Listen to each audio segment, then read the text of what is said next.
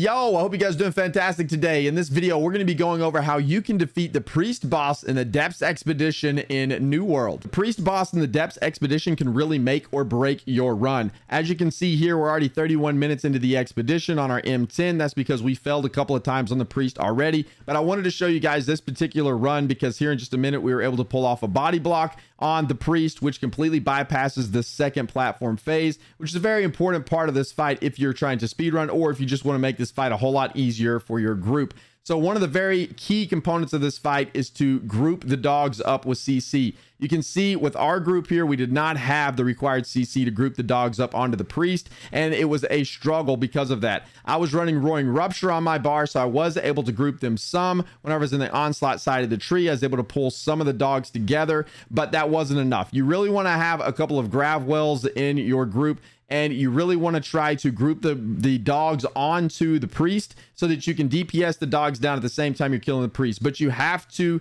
take care of the dogs. If you don't control the dogs, this fight becomes very crazy, very fast. And then what I like to do for the platform phase is send three DPS up onto the platform. You take out the two ads here, and then you're able to close the monolith and make sure you just have your healer throwing a sacred ground up here and trying to heal you while you're up here. Another very important component to this fight is dodging the bombs. You can dodge the bomb explosion damage. A lot of people miss this. A lot of people don't know you can do this. But on the sixth wave of the staff above the boss's head, you want to dodge and you can dodge the explosion of the bombs. So whenever the boss is down there channeling those bombs, you want to count the waves of the staff above her head if you're not the one closing the portal or try to, even if you are, try to watch them. And on the sixth one, that's whenever you want to dodge. That can save your group. That can save you from a wipe. You can completely bypass the damage or iframe the damage, and it makes this fight a lot easier. Once you're off the platform, again, you come down here and you want to make sure you're controlling the dogs. That is very, very important.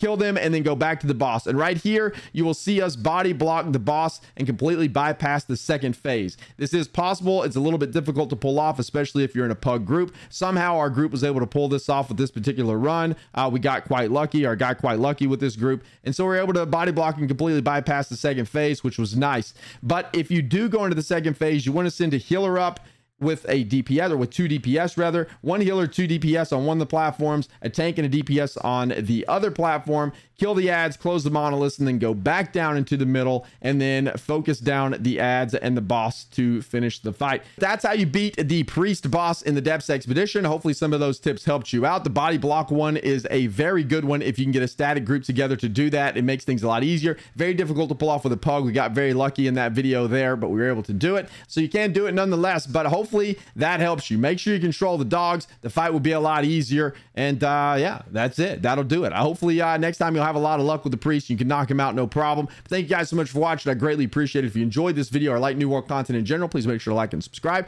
I'd greatly appreciate that as well. And come hang out with us on Twitch, twitch.tv slash BDLG. I'm live there every Monday through Friday, 8 o'clock a.m. CST. But that'll do it for this one. We'll see you in the next one.